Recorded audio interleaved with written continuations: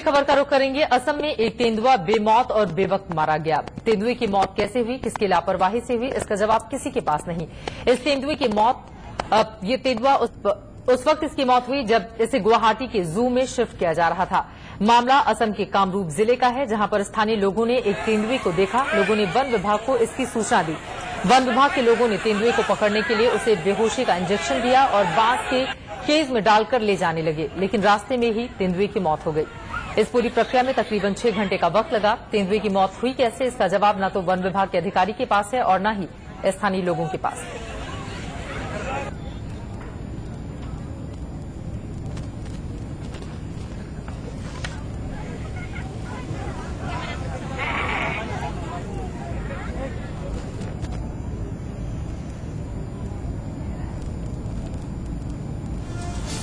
और इस